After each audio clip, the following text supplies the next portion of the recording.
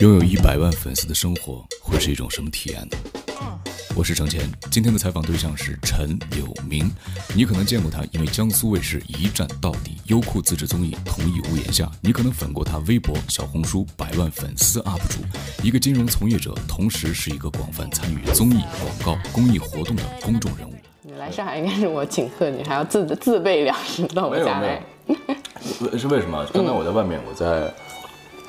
对着镜头的时候，嗯，然后我也说，嗯，我说因为镜头上看到你，嗯，要么是综艺啊，嗯，要么是这个，啊，你的你的这各种视频啊、演讲啊，公开的场合，非常完美的形象，嗯，我说我特别想点顿外卖到他家，然后两人坐下来，啊，呃，因为有时候我在你身上可以看到都市丽人的影子，也可以看到东北大妞的影子，是，嗯，对，但是我可能更喜欢你另外一面，就是就坐下来大家。喝点酒啊，吃点饭这种感觉是，喝点酒吗？呃，有吗？有啊，我们家就是就最不缺的就是酒。对我，我是但中午喝酒，你不介意我？你下午工作。在学生时代是什么原因让你是性格，是当时的经历是怎么样的，让你毕业以后开始做这个？就我其实从小，从很小的时候，我都是那种就是小时候当班长，嗯，然后当那种文艺委员。对，然后很喜欢组织活动，然后在学校里学生会当当各种各样的部长啊，然后做活动啊，接待别人啊这种，然后我就是一直很喜欢跟人打交道，然后同时，呃，其实我以前都不会承认，但我现在就会大胆说出来，就是我比较喜欢被别人关注着那种感觉。OK，嗯，然后但是我大学是一个比较压抑的学校，财大嘛，谢谢。财大什么学院？呃，我公馆的。啊，公管。嗯。是一个比较压抑，大家都很只，就是我觉得大家学习的地方对对对，很 value 那个学习的能力，嗯，OK。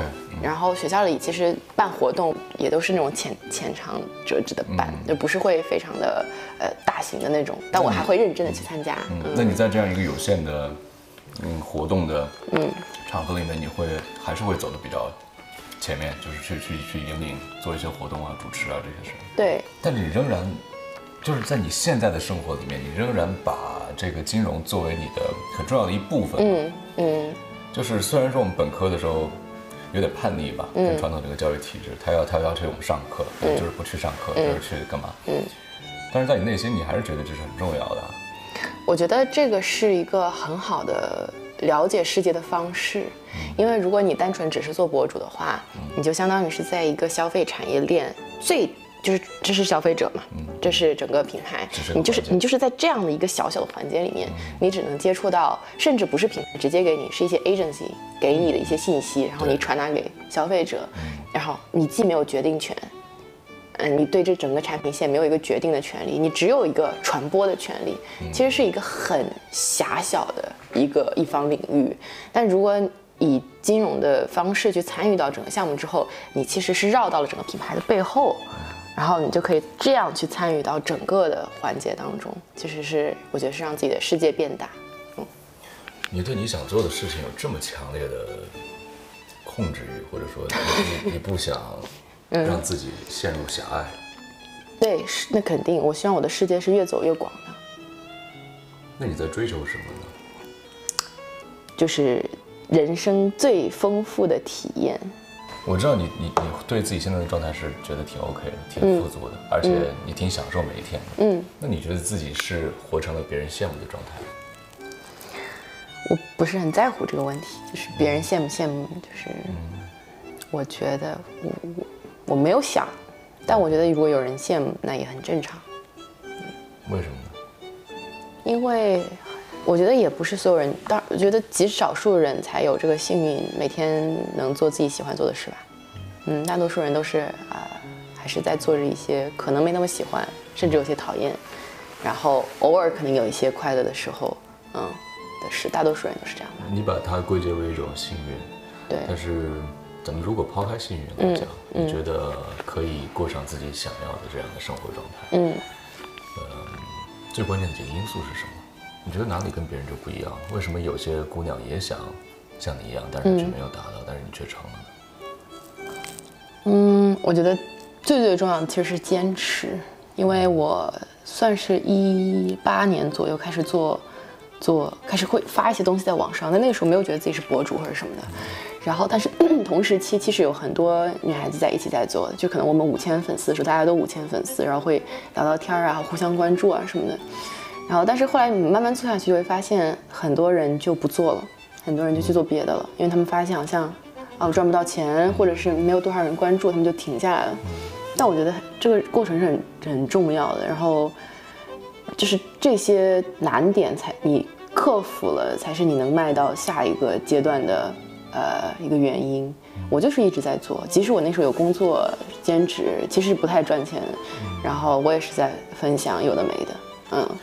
那让你坚持下去的动力是什么？我本身就是一个很爱表达的人，逼逼赖赖的人。就是对我，就是我总还要说的，我不如把它整理好说下来，对，或者拍成照片发写成文字这样。虽然我是一个对很多事情都有满足感，但是我内心深处也有一些我很想去做的事情，但这些事情不是那种你知道我需要努力个二十年才能达到的，就是有一些快乐，我是有一些及及时的快乐想达到，比如说我想去某个地方啊，我想呃见到什么人。我想看完多少本书，就是类似这种简单的，但是却能达到的一些目标。然后我达到了，我就会加，就是给我多一加倍的快乐。对。那我想问的问题是，如果所有的这些，嗯嗯，我们精神层面的这些满足都没有物质做支撑，嗯，你会优先于去拼物质，还是说去，还是坚持自己喜欢的这些东西？我觉得物质很重要，我觉得赚钱很重要，啊。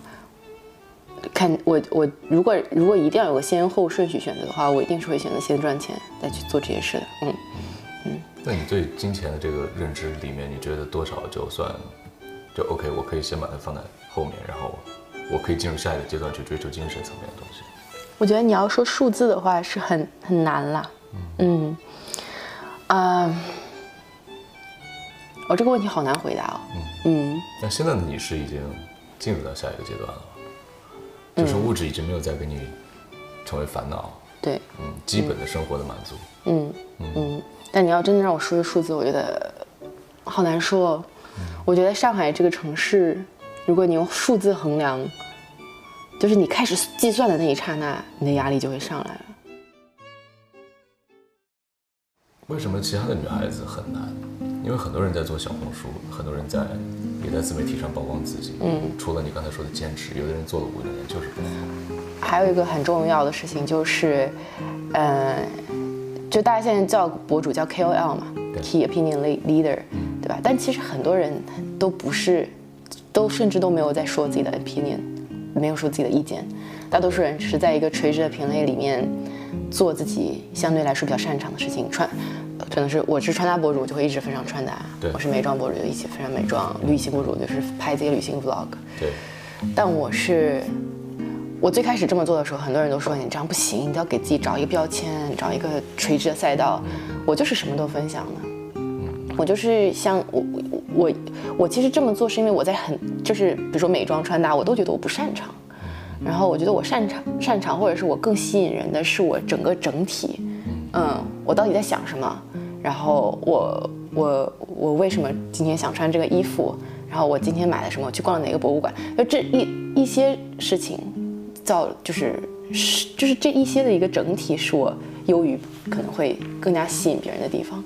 嗯，所以我就是坚持着一直去分享。然后这几年，其实之前因为可能工作比较忙，所以也没有时间多分享自己的想法。这几年之后，我突然发现，好像当只有当你在分享想法的时候，那个共鸣，或甚至是争吵，就是有时候别人是不同意你的，但这个东西才会给别人留下比较深刻的印象，然后也才会，就是，嗯，让你存在在他们的脑海里面。然后，对我觉得是分享观点很重要，嗯。然后另外一个很重要的点就是，呃，就是很很多人就是专心分享自己的成功嘛，或者是。快乐，或者是，呃，努力，但其实我觉得分享自己的不成功，因为我我就是那种常常在网上喊我我真的很累，我工作太忙了，或者是我恋爱又不成功，或者是我怎么就是分分手很很难过，我也就是我也会选择性的分享自己的不行，这个我觉得也很重要，就是大家才会有共鸣嘛，就你你自己去打破你那个所谓很完美的那个小圈子，嗯，这个也蛮重要。所以你像，嗯，通过互联网向外传递的也是真实，对，哦就，是你你对这这个。